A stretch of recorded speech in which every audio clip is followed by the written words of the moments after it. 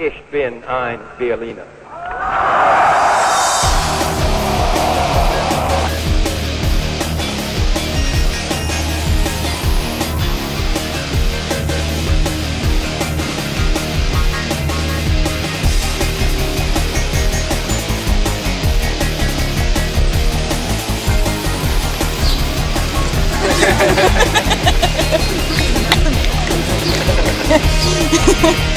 Ehm, zoals jullie daar zien is dit gebouw op het einde van de 19e eeuw gemaakt.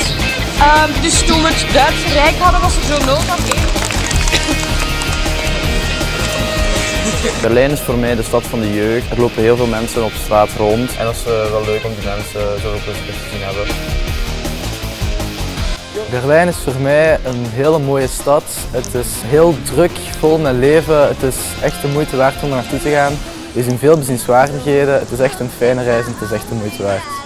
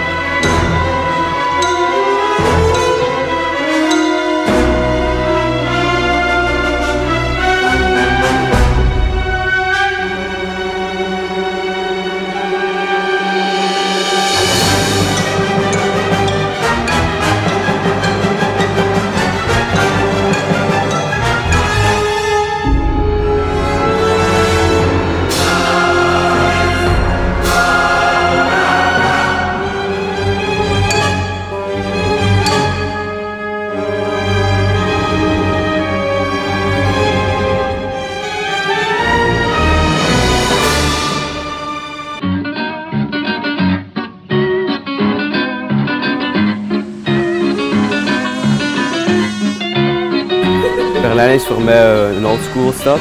Dat lijkt op een stad van de jaren 90. Ehm, er zijn ook veel graffitis op de muren met veel street art en ik vind dat persoonlijk wel heel mooi.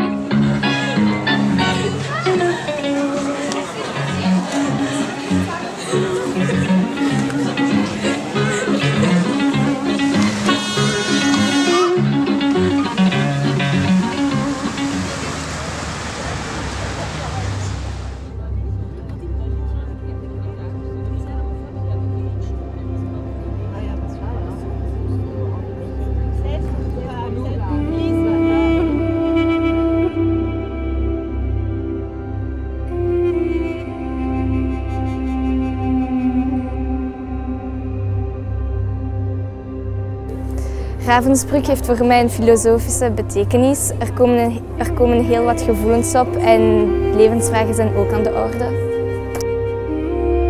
Ravensbrück was voor mij heel aangrijpend. Het heeft mij meer gepakt dan ik had verwacht. Het is ook heel leerrijk.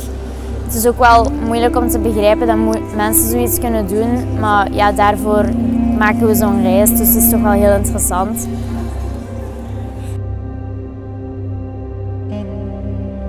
Ravensbrück was voor mij zeker heel confronterend, omdat je toch wel op een plaats waart waar veel mensen zijn gestorven. Ik vind zeker dat dit nog, ik denk wel dat dit nog zeker gaat gebeuren, dus het was wel eens goed om het allemaal gezien te hebben hoe erg de mensen kunnen zijn. Heel hartelijk welkom hier in Ravensbrück. Mijn naam is Matthias Heijer. Ik zou jullie en u hier rondleiden tijdens de rondleiding van minder dan één uur, omdat uh, we verwacht worden voor het lunch.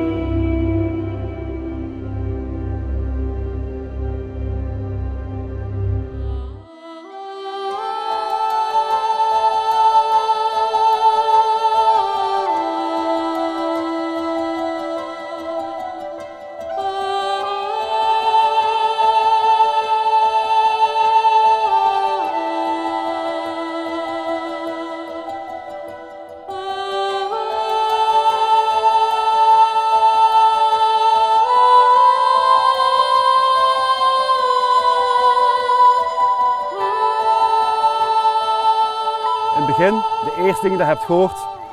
Ja, het probleem is, het is hallucinant. Zoveel mensen opgesloten, zoveel mensen vermoord, omdat ze iets denken of omdat ze iets zijn. Maar het probleem is, voor elke vraag die je hebt, krijg je soms een antwoord, maar alle antwoorden leiden tot meer vragen. Want hoe hebben die bewakers die mensen zo slecht kunnen behandelen? Dat waren zelfs soms moeders, vaders, broers, zoon. Hoe is zoiets zo extreem zo lang kunnen blijven bestaan? Is dat zo zwaar uit de hand gelopen? En dat zijn zeer belangrijke vragen. En nu kun je zeggen, ja, Michiel, 70 jaar later, waarom zijn we daar nu nog over bezig? Maar als je gaat nadenken, vandaag de dag, binnenkort, jullie zijn nu 17, sommigen al 18, jullie zijn binnenkort volwassen, jullie gaan ook moeten stemmen. En het is dan zeer belangrijk om te beseffen dat soms mensen jullie angst gaan willen aanjagen. Of jullie gaan opzetten tegen anderen, omdat ze iets anders denken of omdat ze iets anders zijn. En ik ga nu niet zeggen dat ik alle antwoorden heb, maar het is zeer belangrijk dus om zelf na te denken. Om zelf eigenlijk stil te staan bij de keuzes die je later ook gaat maken in jullie leven.